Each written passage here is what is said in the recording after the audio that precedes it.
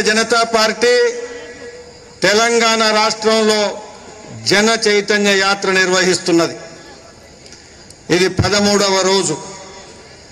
ఖచ్చితంగా ఈ యాత్ర కార్యక్రమంలో పాల్గొన్న తర్వాత నేను చాలా విశ్వాసంతో చెప్తున్నాను తెలంగాణలో టీఆర్ఎస్ ప్రభుత్వానికి చంద్రశేఖరరావు గారి ప్రభుత్వానికి లెక్కలు దినాలు లెక్కలు చేయడం అనేది ప్రారంభమైంది.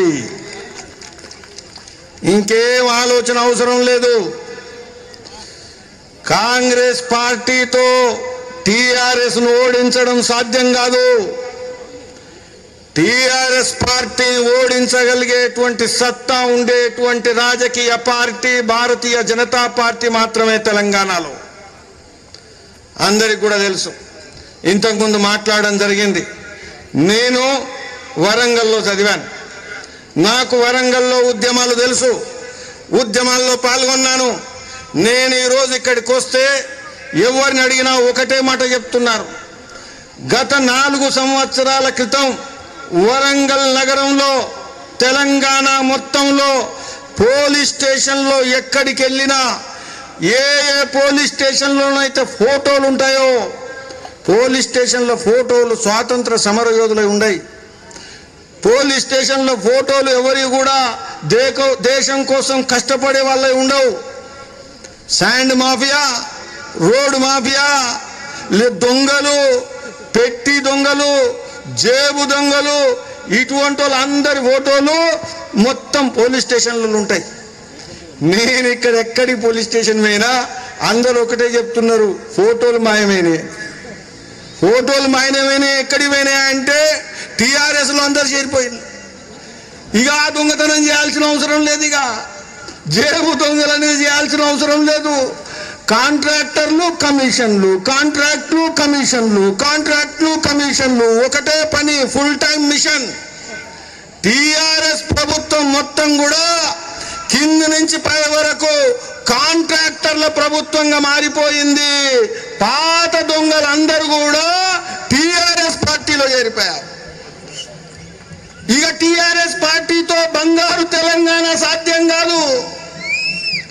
అయ్యా నాలుగు సంవత్సరాల క్రితం విప్లవం తీసుకొస్తాను. బంగారు తెలంగాణ నాకే సాధ్యం అని చెప్పడం జరిగింది. నేను వెళ్ళాను. ఎక్కడికి వెళ్ళా రైతు పంచాయతీ రైతు కార్యక్రమం రైతు పోరాటం రైతు ఉద్యమం వెళ్ళినప్పుడు నాలుగు సంవత్సరాల్లో మేమందరం కోరుకున్నాం. తెలంగాణ దేశంలో అత్యధికమైనటువంటి ఆత్మహత్యలు జరిగేటువంటి తెలంగాణ. రైతాంగం ఆత్మహత్యలు ఎక్కడైనా ఎక్కువ ఉన్నాయంటే అవి తెలంగాణలో ఉన్నాయి. ఒక సంవత్సరం కాదు గత పదిహేను సంవత్సరాలుగా రైతులు ఆత్మహత్యలు ఆత్మహత్యలు ఆత్మహత్యలు. అది కరీంనగర్ అది వరంగల్ అది పాలమూరు అది నల్గొండ. ఎక్కడికి వెళ్ళినా నిజామాబాద్ ఆదిలాబాద్ రైతుల ఆత్మహత్యలు. సంవత్సరానికి వెయ్యికి పైగా దేశంలో అతి ఎక్కువ కాంగ్రెస్ పార్టీ పోయింది. ఇక నాకు రైతుల ఆత్మహత్యలు ఆగిపోతాయి. కొత్త తెలంగాణ వచ్చింది. దోపిడీ ఆగిపోతుంది. రైతులకు లాభం జరుగుతుంది అని ఆశించడం జరిగింది. కానీ ఆత్మహత్యలు ఆగలే. ఎక్కడ కూడా ఆత్మహత్యలు ఆగల. కౌలు రైతులు ఆత్మహత్యలు ఆగలేదు బీటీ కాటన్తో ఆత్మహత్యలు లేకపోతే మిర్చితో ఆత్మహత్యలు ఏదైనా అప్పుల కారణంగా ఆత్మహత్యలు ఆగలేదు. చంద్రశేఖరరావు గారు చెప్పారు నేను అప్పులు మాఫ్ చేస్తున్నా అని. అప్పులు మాఫీ అని స్లోగన్ అయిపోయింది నినాదం అయిపోయింది కానీ ఆత్మహత్యలు ఆగలేదు. ఎందుకు ఆగలేదని తీస్తే రైతులకు లాభసాటి అయ్యేటువంటి పని ఒక్కటి కూడా చంద్రశేఖరరావు ప్రభుత్వంలో చేయలేదు. నేను అందరూ కూడా గమనించా. రైతులు తెలంగాణ వస్తే గోదావరి నీళ్ళు నాకు చేల్లోకి వస్తాయి నా పొలంలోకి వస్తాయి నా తోటలోకి వస్తాయి అని భావించడం జరిగింది ఆశించడం జరిగింది. కానీ తెలంగాణ వచ్చింది. నాలుగు సంవత్సరాలు అయ్యాయి. కానీ ఎక్కడ చూసినా గోదావరి నీళ్ళు ఎక్కడ రావట్లేదు. పైపులు కనబడుతున్నాయి. తవ్వకాలు కనబడుతున్నాయి. కాంట్రాక్టర్లు తిరుగుతున్నారు. కానీ ఎక్కడ కూడా గోదావరి నీరు ఏ కృష్ణా నది నీరు చేన్లోకి పొలంలోకి నీ ఎక్కడికి వెళ్ళినా రావట్లే. నేను అడిగా ఏమైనా రైతులారా ఏం జరుగుతుంది అని. నేను చిన్నప్పుడు ఇంతకుముందు చెప్పాను మా ఊర్లో కరెంటు మోటార్ లేనప్పుడు మూట కొట్టేది మూట. మీ అందరికీ తెలుసు మూట చూశారనుకుంటా సినిమాల్లో కనబడుతుంది అప్పుడప్పుడు ఇప్పుడు లేదు మూటలు. ఈ మూట కొడితే రాత్రి పోయి మూట కొడితే మూట నుంచి వచ్చి నీళ్ళు దోణిలో పడితే దోణి సప్పుడు చేసేది.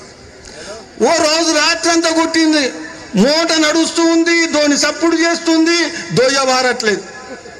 ధోని సప్పుడే కానీ దొయ్య వారట్లేదు. చంద్రశేఖరరావు ప్రభుత్వంలో ధోని సప్పుడే కానీ దొయ్య వారట్లేదు. ఏమయ్యా? ఏ టీవీ చేసినా ఏ రేడియో చూసినా ఏ సినిమా చూసినా ఏ హోర్డింగ్ చూసినా చంద్రశేఖరరావు పక్కన జలపాతం లెక్క నీళ్ళు వస్తున్నాయి. కానీ ఎక్కడ కూడా వరంగల్ జిల్లాలో ఏ రైతుని నెల్లడిగినప్పటికి కూడా ఇంతవరకు ఎక్కడ కూడా నీళ్ళు వచ్చినాయని అడిగితే ఏ రైతు కూడా నాకు నీళ్ళు వస్తున్నాయని చెప్పలేదు. మరి ఎక్కడికి పోతున్నాయి? అపర భగీరథ భగీరథ మిషన్ ఒక స్కాండల్ ఒక స్కామ్ పెద్ద స్కామ్ కాంట్రాక్టర్లతో ఏర్పడ్డటువంటి స్కామ్ మాత్రమే. భారతీయ జనతా పార్టీ ప్రశ్నిస్తున్నది నాలుగు సంవత్సరాల్లో ఎన్ని లక్షల ఎకరాలకు నీవు నీళ్ళు ఇచ్చావు? నికరంగా ఛాలెంజ్ చేస్తున్నా నేను హనుమకొండ గ్రౌండ్లో చర్చించడానికి నేను సిద్ధంగా ఉన్నా. ప్రభుత్వం సిద్ధంగా లేదు. ప్రభుత్వానికి చేత కాదు. ప్రభుత్వం ఉద్దేశం అది కాదు.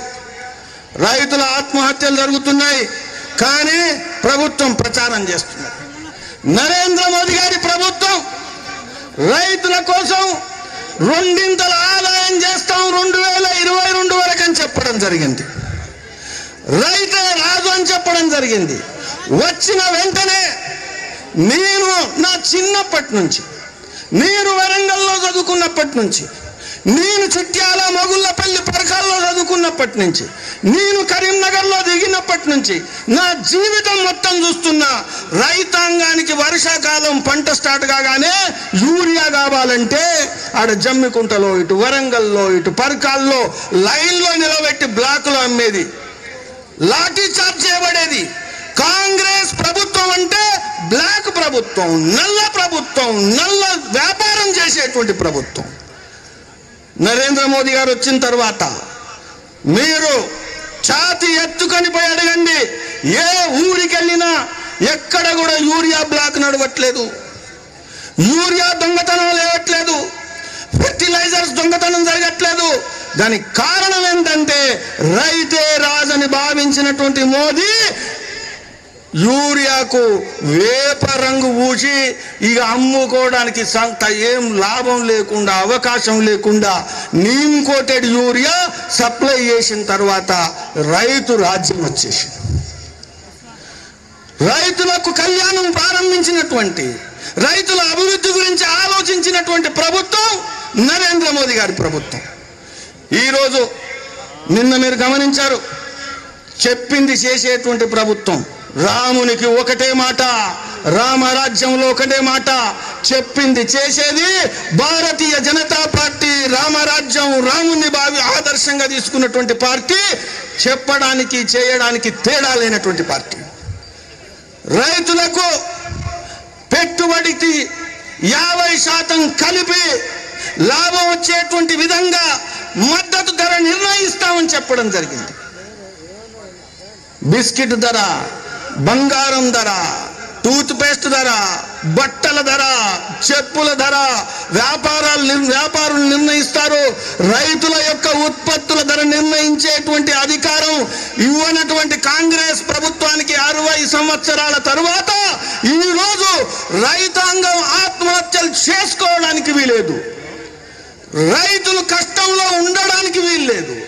స్వతంత్ర భారతదేశంలో రైతు స్వతంత్రంగా జీవించాలా?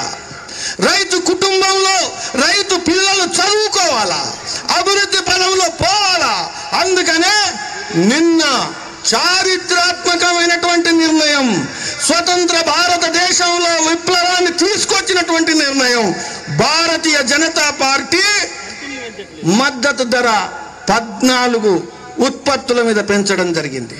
అటు పప్పుల మీద ఇటు మిర్చి మీద ఇటు బియ్యం వరి ధాన్యం మీద గోధుమ మీద రాగి మీద పత్తి మీద అన్నిటి మీద ధరలు యాభై శాతం అరవై శాతం తొంభై శాతం పెంచినటువంటి పార్టీ చరిత్రలో నేను ఛాలెంజ్ చేస్తున్నా ఇంకొక పార్టీ లేదు.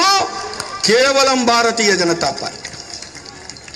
రైతే రాజ్యం రైతు లేనిదే రాజ్యం లేదు. అని భావించినటువంటి భారతదేశంలో కలలు కన్నటువంటి మహాత్మా గాంధీ దేశంలో ఈరోజు కేవలం భారతీయ జనతా పార్టీ. అరవై సంవత్సరాల తర్వాత రైతుకు ఆదాయం. అందుకనే రెండు వేల ఇరవై రెండు వరకు రైతుకు ఆదాయం రెండంతలు చేయగలిగేటువంటి పార్టీ ఈరోజు భారతదేశంలో ఉందంటే కేవలం భారతీయ జనతా పార్టీ. ఇంకో విషయం మనం గమనించాలి. టీఆర్ఎస్ పార్టీ ప్రభుత్వం వచ్చిన తర్వాత నాలుగు సంవత్సరాలు రైతుల గురించి మాట్లాడి చివరికి నాలుగు వేలు ఎకరానికి ఇచ్చినటువంటి పార్టీ. మీ అందరూ కూడా తెలుసు ఎకరానికి నాలుగు వేలు ఇచ్చినటువంటిది కేవలం భూమి ఎవరి పేరు మీద ఉందో వాళ్ళకి ఇచ్చినటువంటి పార్టీ అది. నేను కౌలుదారు వ్యవసాయం చేస్తున్నటువంటి కౌలుదారులకు ఈరోజు ఏం ఆదాయం లేదు ఈ ప్రభుత్వం కారణంగా. కానీ నరేంద్ర మోదీ గారు నిర్ణయించినటువంటి ప్రభుత్వం కారణంగా ఆదాయం ఎవరికి వచ్చిందా అంటే ఎవరైతే పండిస్తారో ఎవరైతే వ్యవసాయం చేస్తున్నారో ఆ రైతాంగానికి భేదభావం లేకుండా మొత్తం దేశవ్యాప్తంగా ఆదాయం పెంచినటువంటి పార్టీ భారతీయ జనతా పార్టీ. జన చైతన్య యాత్రలో నేను గ్రామాలకు వెళ్తున్నప్పుడు మా పార్టీ కార్యకర్తలు భూతద్దం పెట్టుకొని వెళ్తున్నారు. ఎక్కడుందయ్యా? ఆ రెండు బెడ్రూమ్లది. చంద్రశేఖరరావు చెప్పిన రెండు బెడ్రూమ్ల ఇల్లు ఎక్కడుందని. వరంగల్లో ఎక్కడన్నా? ఇక్కడ మీరు టీవీలు అన్ని కెమెరాలు ఉన్నాయి చంద్రశేఖరరావు గారు డైరెక్ట్ చూస్తున్నాడు ఇక్కడ. డాక్టర్ లక్ష్మణ్ మురళీధర్ రావు వీళ్ళ నాయకులంతా ఇక్కడ వరంగల్లకు టీఆర్ఎస్ను వ్యతిరేకిస్తున్నారు. ఏం మాట్లాడుతున్నారో టీవీలో చూస్తున్నారు. నేను అడుగుతున్నా ఛాలెంజ్ చేసి అడుగుతున్నా వరంగల్ నగరంలో ఎక్కడన్నా రెండు బెడ్రూమ్ల ఇల్లు ఏదైనా కుటుంబం బిడ్డను పెళ్ళి చేసి ఆ కుటుంబానికి రెండు బెడ్రూమ్ల ఇల్లు ఇచ్చి పడుకున్నటువంటి సంఘటన ఏదైనా ఇల్లు ఉందానయా నేను అడుగుతున్నా. చెప్పండి మీరు ఎక్కడైనా ఉంటే ఉంటే చెప్పండి లేకపోతే లేదని చెప్పండి చేతులు లేపి చెప్పండి. మీరు చేతులు లేపకపోతే చంద్రశేఖరరావు చెప్తాడు నరేంద్ర మోదీకి నువ్వు ఇచ్చిన ఇల్లు నేను ఇస్తున్నానని. చెప్పండి రెండు చేతులు లేపి చెప్పండి. టీవీ కెమెరాలు చూడవయ్యా. ఇక్కడి నుంచి చివరి వరకు ఇంకేం సాక్ష్యం కావాలా? నేనేం అబద్ధం మాట్లాడాలా? నేను ఇక్కడ బహిరంగ సభలో అందరి ముందట కెమెరాల ముందట వరంగల్ నగరంలో పోలీసుల ముందట ఇల్లు కట్టిల్లా అని అడుగుతున్నా ఎఫ్ఐఆర్ దర్జీ చేయండి ప్రజా కోర్టులో చంద్రశేఖరరావు నాలుగు సంవత్సరాల్లో హైదరాబాద్ తర్వాత పెద్ద నగరం వరంగల్ వరంగల్ ఒక్క టూ టూ బెడ్రూమ్ ఇల్లు ఇప్పటి వరకు ఇవ్వకపోతే ఇంకెన్ని సంవత్సరాల ప్రభుత్వం నడిపితే ప్రభుత్వం టీఆర్ఎస్ ప్రభుత్వం ఇండ్లు ఇస్తుంది? ఇది ఐదు సంవత్సరాలు కాదు. ఈ కుటుంబానికి నా తర్వాత నా కొడుకు నా కొడుకు తర్వాత ఇంకొక మనవడు మనవని తర్వాత ఏ విధంగానైతే నెహ్రూ గాంధీ ఫ్యామిలీ భారతదేశాన్ని ఏలిందో నేను తెలంగాణ నేలుతా నాకు మీరు ఓట్లేస్తుండండి అనేటువంటి ప్రభుత్వంతో టూ బెడ్రూమ్ ఇల్లు కరగదు. నరేంద్ర మోదీ గారు డబ్బులు పంపిస్తున్నారు ఆవాస్ యోజన ప్రధానమంత్రి ఆవాస్ యోజన. రెండు వేల ఇరవై రెండు వరకు భారతదేశంలో ఇల్లు లేనటువంటి కుటుంబం ఉండకూడదు. ఎందుకయ్యా? దేశానికి స్వాతంత్రం వచ్చి డెబ్బై ఐదు సంవత్సరాలైంది. దేశానికి స్వాతంత్రం వచ్చిన తర్వాత డెబ్బై ఐదు సంవత్సరాల్లో నువ్వు ఒక ఇల్లు కుటుంబానికి ఇవ్వలేకపోతే ఈ ప్రభుత్వం ప్రజా ప్రభుత్వం ఏ విధంగా అవుతుంది? ఈ ప్రభుత్వం బడుగు వర్గాల ప్రభుత్వం ఏ విధంగా అవుతుంది? బడుగు వర్గాల సంక్షేమం కోసం పనిచేసేటువంటి నాయకత్వం ఏ విధంగా అవుతుంది? అందుకని నాకొకటే కోరిక నా కళ ఒక్కటే. రెండు వేల ఇరవై రెండు వరకు దేశవ్యాప్తంగా ఏ బడు వర్గాలకు చెందినటువంటి కుటుంబం ఇల్లు లేకుండా ఉండకూడదు అని డబ్బులు పంపిస్తే ఆ డబ్బులు ఎక్కడికి పోతున్నాయి తెలంగాణలో? కిందికి రావట్లేదు పైకి పోవట్లేదు పైన లెక్క చెప్పట్లేదు కింద ప్రజలకు పోవట్లేదు. ఎక్కడికి పోతున్నాయంటే నేను చెప్తున్నా టీఆర్ఎస్ నాయకులకు మోటార్ సైకిల్ నుంచి కార్లు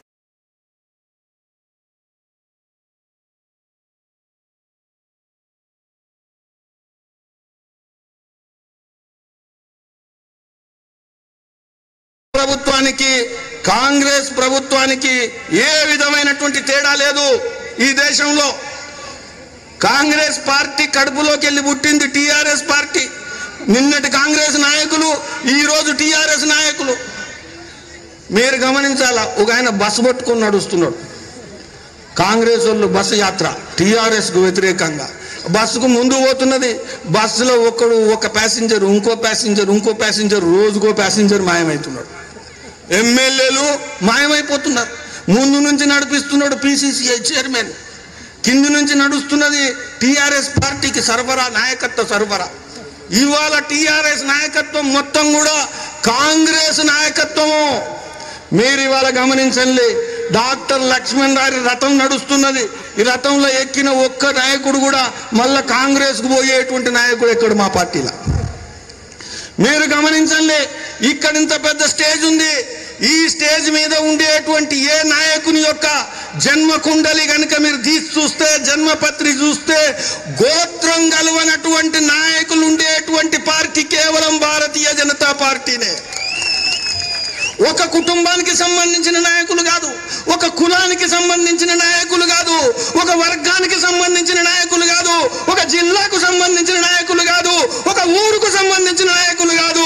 అందరిని కలపగలిగినటువంటి పార్టీ కేవలం భారతీయ జనతా పార్టీ.